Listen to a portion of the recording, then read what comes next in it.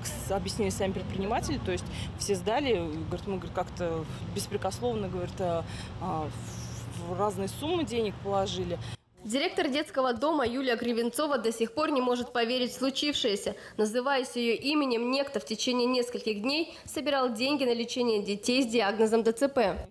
Вот эта вот ситуация, она действительно нас несколько компрометирует с э, не очень хорошей стороны. Вот. И вчера буквально был шквал звонков от предпринимателей рынка. А, Несколько человек даже приходили действительно прояснить ситуацию. Но Многие предприниматели на рынке, как и обычные покупатели, поверили россказням женщины. И, судя по всему, сумма набралась немаленькая. И вообще оказалось, что подобные просящие появляются тут часто. Собирают и на лечение детей, и для детских домов. Светловолосая такая была она. Не знаю, тут вот у людей есть только поспрашивать. А возраст примерно какой? Ну, где-то 35-40, не больше. А что говорит, кем представляется? Ну, она сказала, что она из детского дома этот, собирает этот, э, для детей одежду, деньги, вещи. Девушка и парень ходил.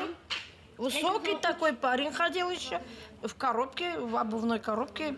Эту дырку сделали. Специально это. Не верьте мошенникам. Если хотите помочь, то как минимум требуйте документы и справки с диагнозом. Сотрудники же Нижнекамского детского дома по рынкам попрошайничать не ходят. Да и ни одного ребенка с диагнозом ДЦП сейчас на их попечении нет. Сегодня встретить лже-директора нам не удалось. Скорее всего, это была заезжая мошенница. А всем нижнекамцам следует быть осторожными и не верить первому встречному. Если вы действительно хотите помочь воспитанникам детского дома, то лучше позвонить по телефону, либо прийти и спросить, что им действительно нужно.